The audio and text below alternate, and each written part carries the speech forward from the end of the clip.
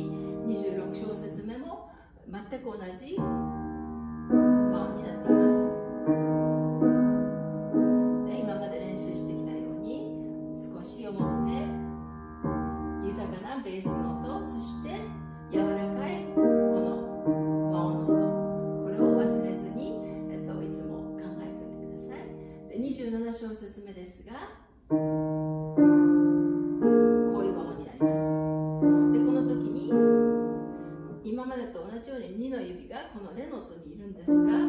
この和音の時には弾きません。このレの音弾きません。しかしこれを動かさないでください。これが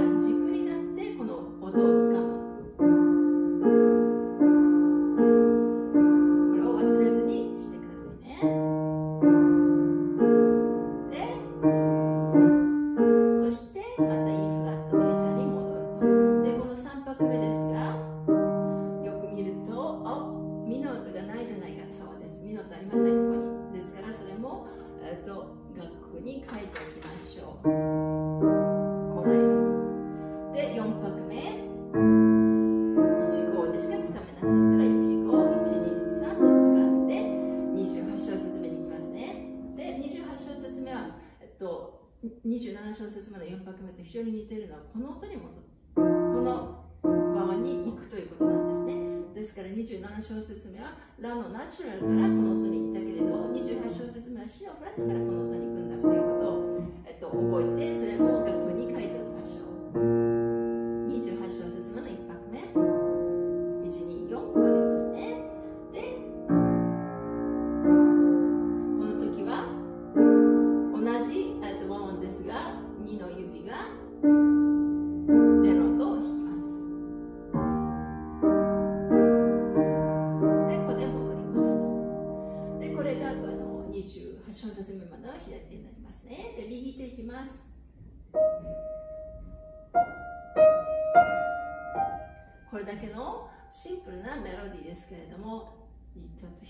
に気持ちを込めて弾いてください。で私としてはここはこの最後のコーダの部分ですけれども今までやってきたことをなんとなく思い出しながら懐かしい感じでかつノスタルジーな感じであの弾きたいと思います。ですから。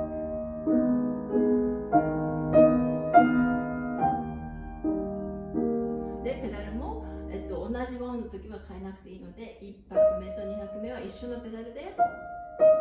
こで変えます。で、えー、と26小節目、えーと、ピアニッシモになったので私はウナコルダ左左のペダルも使っています。でこの16音符でなんとなく心が揺れているなざわざわするような感じを表現できればいいなと思いますね。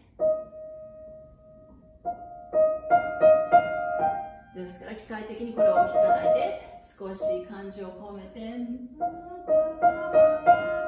いてみてくださいで、えっと、3拍目これは、えっと、2小節目の全く同じ音形ですので似たような手の動きでいけばいいんですが今回は黒鍵から始めてますので2 2の指から始まる指使いにしましょう24321 5これで言ってみてください。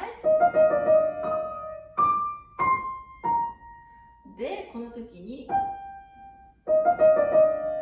この時に行った時にペダルを変えるんですがペダルを全く変えてしまうとこの音だけになって寂しいので左手に和音がありませんから私はこの最後のミのフラットの音を押さえておいてこの音を弾いてペダルにこの音が入るようにします。そうすると少し音が豊かになってあの美しいんじゃないかなと思いますね。で押さえといてペダルを変える。でこの詩の27小節目が詩のフラットがフレーズの終わりになりますよね。一番最初のこの、えっと、小説の最初の音ではありますけれどもパー。ンフレーズ的に言えばこの音が最後の音になりますからちょちょっと手首を浮かせるような感じでそしてラのナチュラルの音が次のフレーズの最初。でこれも、えっと、5小節目に出てきた。これと似たあ同じトリルですね。場所はちょっとずれていますけども。でも同じ指使いで大丈夫だと思います。242できます。で10度飛んでミのフラットからソまで10度飛びます。でその後なんとなく水が流れてくるような感じでまた最初に戻ってきます。ここからここまで飛んだらドドドドドドッと落ちてきてこの音に戻るっていう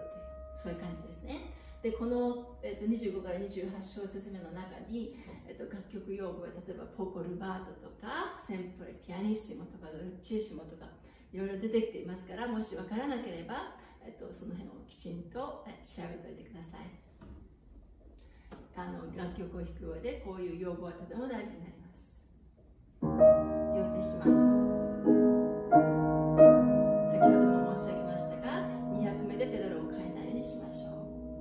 10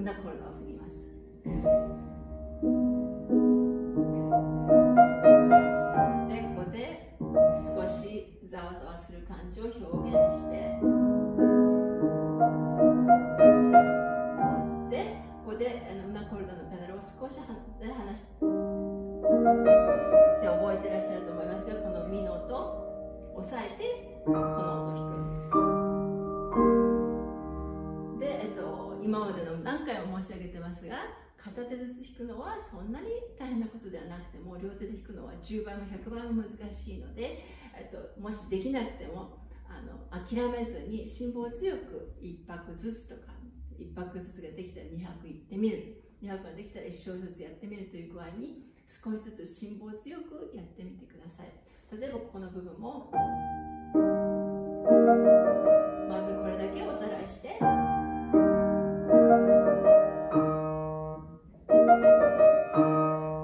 確認する。というふうにして少しずつ少しずつに分けて両手ずつ合わせていってみてください。あのなんとなくやってみても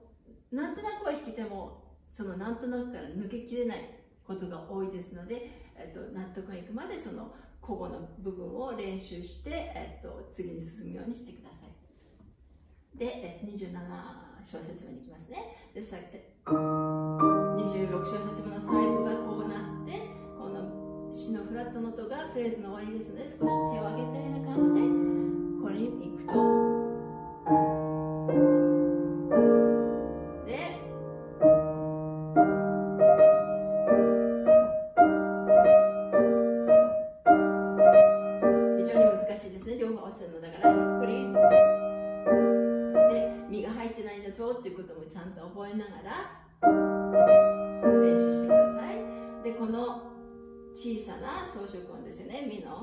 この装飾音が最初に出て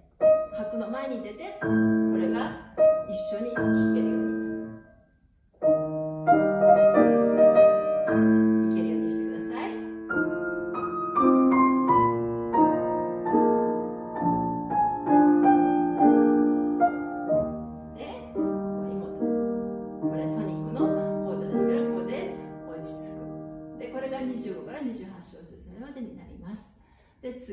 29、えっと、節目から仮説ずついきますね。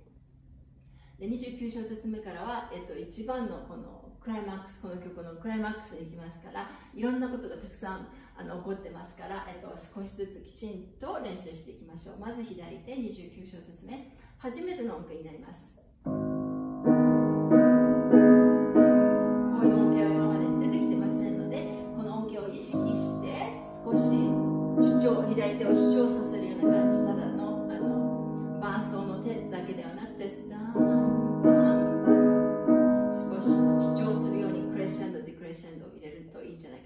私はクレッシェンド、デクレッシェンド少し書いてあります。で、あ指使いですね。1、2、5、2、4、5、1、2、4、2、4、5、1、2、4と私は弾いています。いろんなやり方があると思います。こういうふうにして、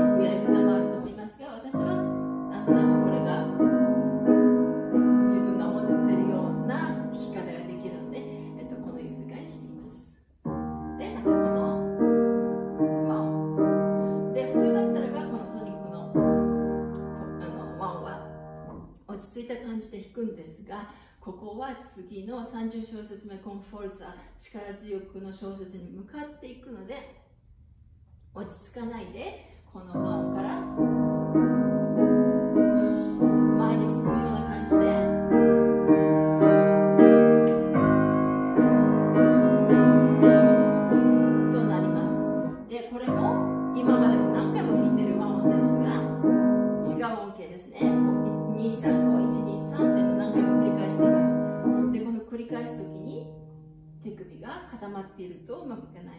柔軟に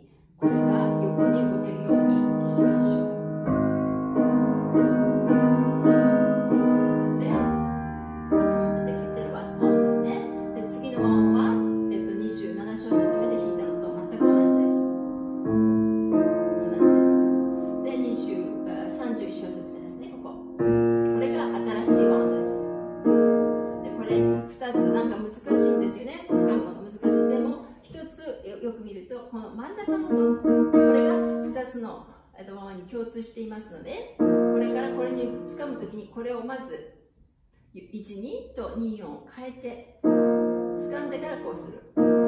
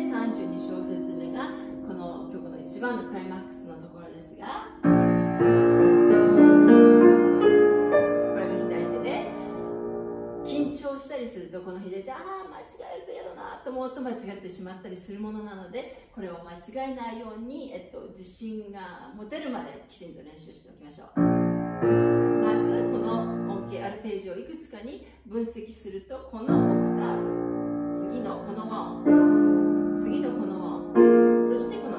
レノートもう一回見せまオクターブ。この和音。この和音。こういうふうになって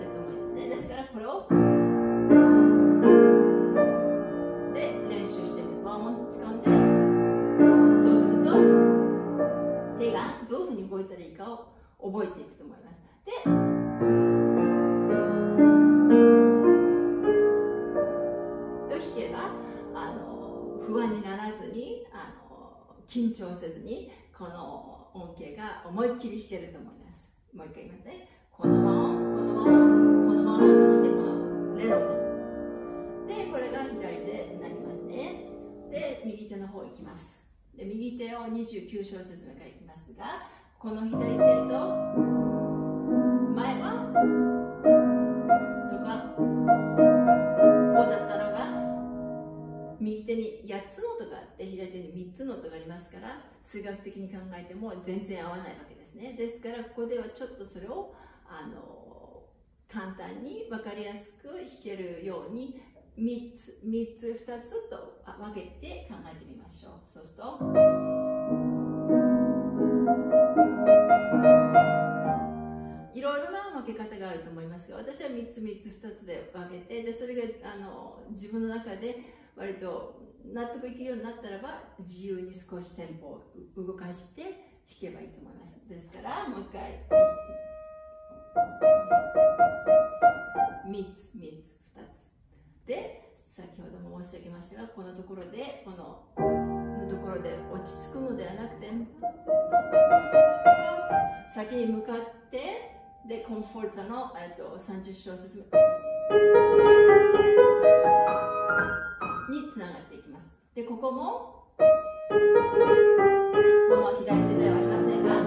意識すればするほど間違えてしまったりする場所なので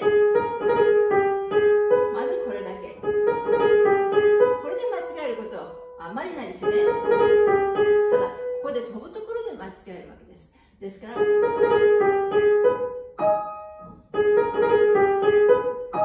ういうふうにして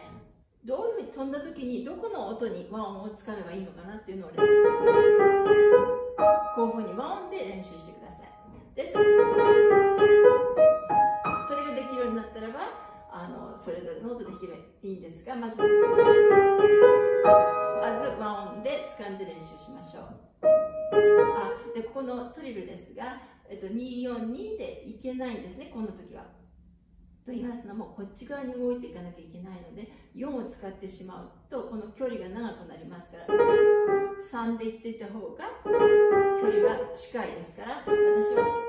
232でこれも3で掴んでそうするとこの距離が近いですね。でその後にえっと給付がこのファの音の前に給付が入ってますから給付を十分に意識して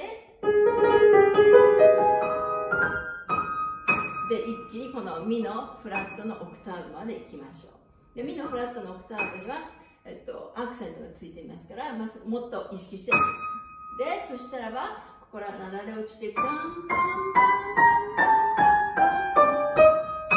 ダンなだれ落ちてくるような感じで私はえっと、14で黒鍵のオクターブは掴んでいるんですがそれがつかめない場合は全部、えっと、15の指使いで言ってください全部15でで、えっと、黒鍵を14で届ける場合は、えっと、黒鍵は14で掴んだ方がきやすいかなと私は思います。でここのところで、えっと、30小節目からえっと、コンフォルツァ、えっと、力強くでさらに感情が高まって、えっと、最後のところにストレートというのがついてますよね。でストレートで、えっと、これはアッチルランドというのとはちょっと違ってあのテンポがもちろん速くなるわけですがただ速くなるだけじゃなくてせかされてるとか落ち着かないとかそういう気持ちが入ってくると思うんです。ですからその辺を考えてなんとなく落ち着かないような感じでこ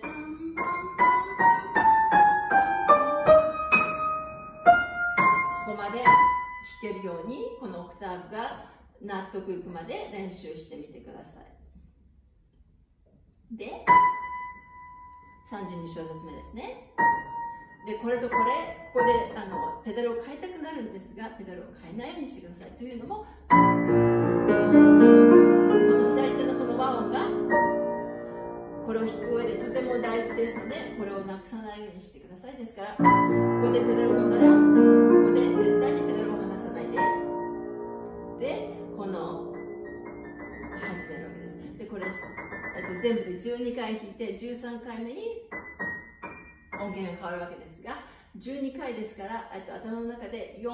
たす4たす4っていうふうに整理しておくと割と混乱せずに弾けると思いますね。でゆっくり。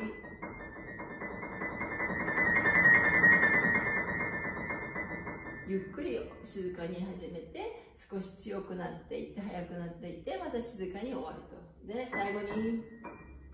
この意識。ここまでだったのがレバで言っていることを意識して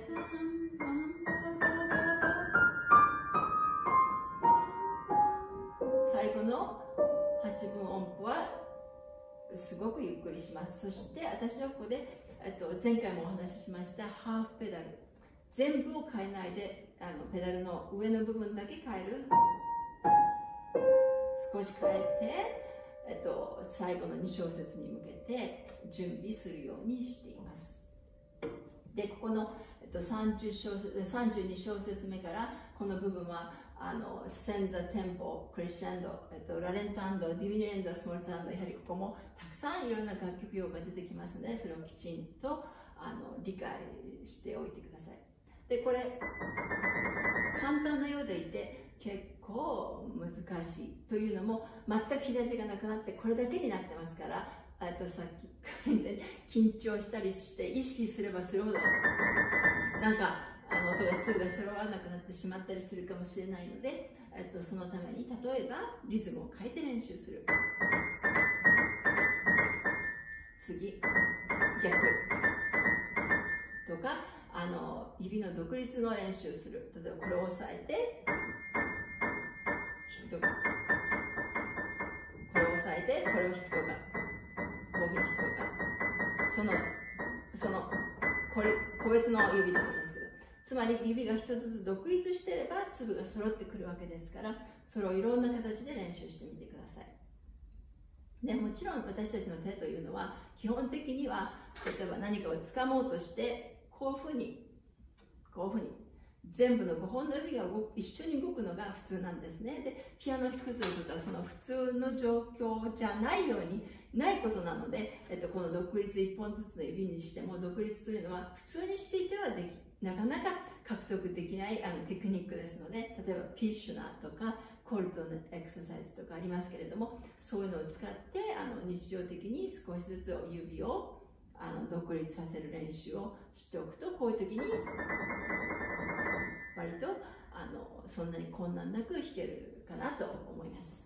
でピッシュなんですけれども、えっと、私は1番から7番までがとても有効的だと思うので1冊やる必要はないですし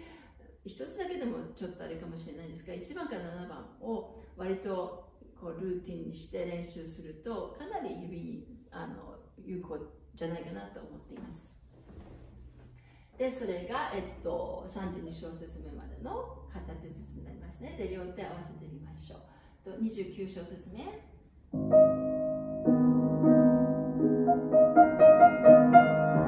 でここで落ち着か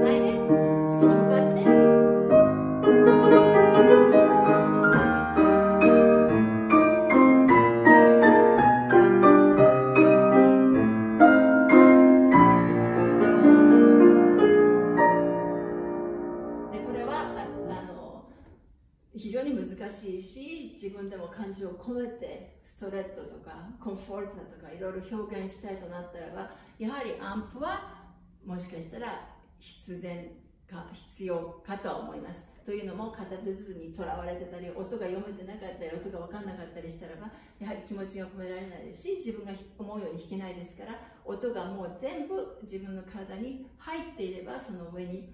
あの感情を込めて弾くとか歌わせて弾くとか少し早くするとかいうことが可能になってきますからまず、えっと、音がちゃんとできたらば少しずつアンプすることもあのちょっと自分でやってみてください。えっ、とどこまで行ったのか、えっと、32小節。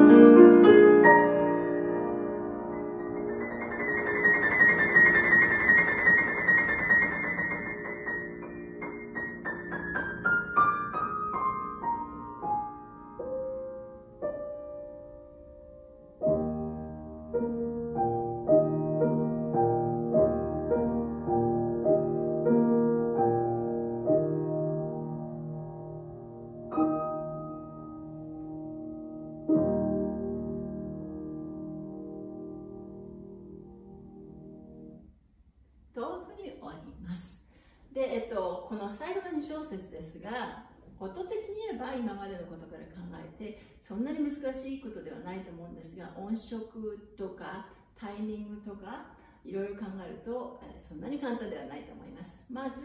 ペダルですが私はウナコルダの左手を右を両方使っていますで踏んだらばそのままにしておいてください。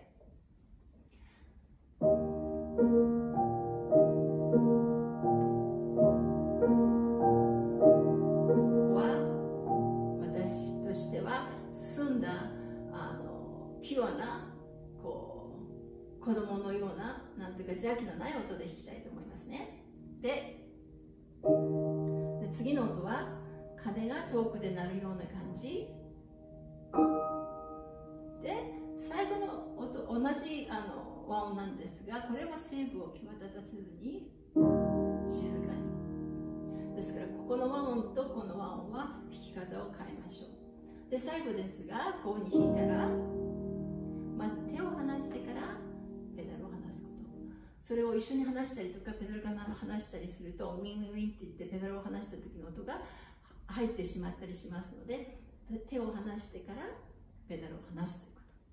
と。それが、えっと、気になります。でさっきも申し上げました鐘のようにというふうにして私としてはあの音をイメージこの音が弾きたいなとこの音が聞いてみたいなということをまず意識して自分でそれを思い浮かべてそれに向かって弾く。最後のところの鐘のところですけどその鐘のいいことを思い浮かべてそれに向かってその音を自分の中でクリエイトするような感じで。でそれを思い浮かべないでただ弾いてしまうのとやはりそのイメージの中でイメージしてそのイメージに向かって弾くのとでは随分違うと思いますのでその音の音色を自分の中でイメージしてそれに向かって弾くということを心がけてみてください。でこれで一応この曲を全部カバーしたことになります。でまあここの段階で一応楽譜が読めて音が弾